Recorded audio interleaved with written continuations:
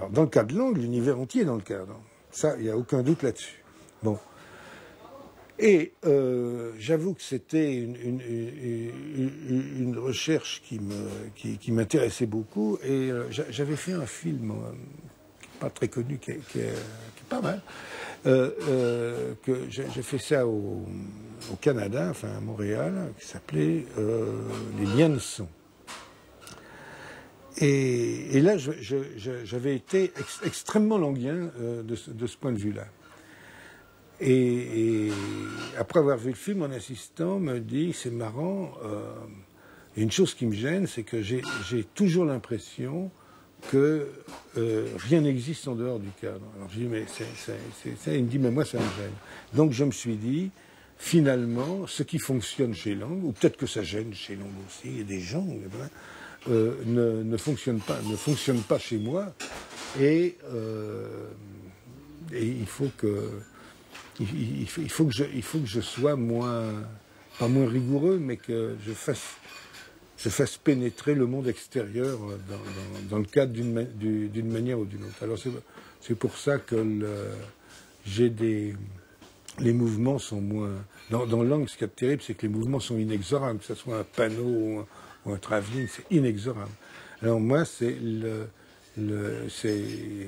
Alors j'ai revu des Renoirs, du coup, j'ai vu beaucoup les les, les, les, quatre films, enfin les, les deux Renoirs et les deux langues sur le même sujet. Et je me j'ai vu les différences. J'ai vu que c'était c'était Renoir qui gagnait les deux fois.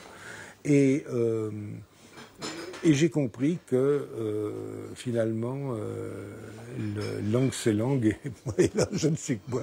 Donc le, le, utiliser utiliser des systèmes hein, qu'on a bien compris et qu'on a bien analysés euh, euh, sans que ça vous soit naturel. Hein, euh, c'est pas la bonne solution.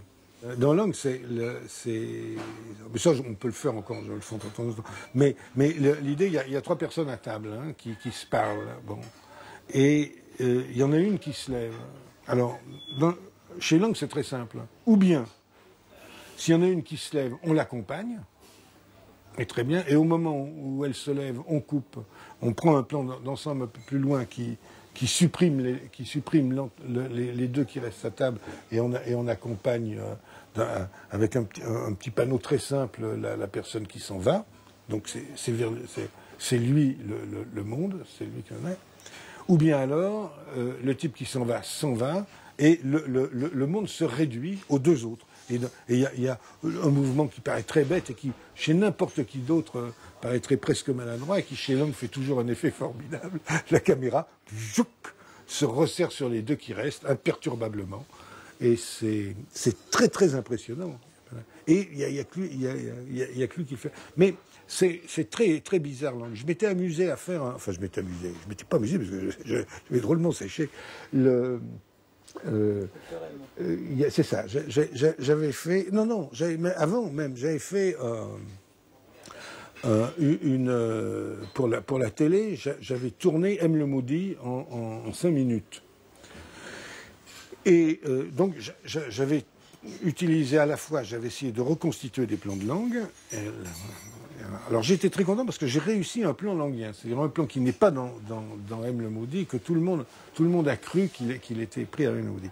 Mais où j'ai eu euh, beaucoup de mal, j'ai eu beaucoup de mal sur deux, sur deux plans très précis. Le premier, c'est quand euh, le, euh, bon, Peter Lorre arrive au, milieu d'une de, rue et la caméra panote et il y a un type qui, le guette sur le côté. Et les, bon, terrible. Je, me dis bon, ben euh, ça, ça on va le faire, c'est bien. On, tournait à l'ancienne Halo 20, je me souviens, c'était assez marrant. Et euh, euh, je fais le plan. Bon, l'effet, passe pas. Bon, ça fait panneau. Alors je dis, c'est sans doute que c'est, faut le faire plus sec. Hein, l'effet ne passe pas. Et je me suis, alors je me suis dit bon, ben, je me suis attaché à la chose. J'ai vu le temps du panneau, la, la, vitesse du panneau, la distance des types. Je l'ai reconstitué très exactement. Ça fonctionnait. C'est-à-dire que il fallait aller exactement à la vitesse du, du, panoramique languien, parce que sinon ça ne marchait pas. Ça, c'est, très fort.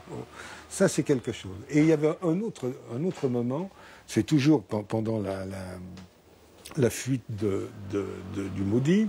Il, est, il, est, réfugié dans une espèce de, de cave ou hein, au, milieu, au milieu de Cajot. Et les types s'amènent avec, une, une lampe, une lampe, ils cherchent avec la lampe, et euh, ils, ils, arrivent sur lui et, ils le voient au milieu des cajots et, et il, il se lève.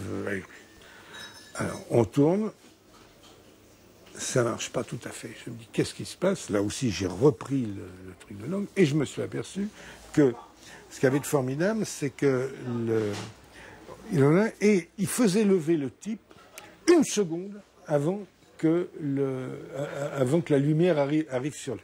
Alors, on a, tout essayé. Hein.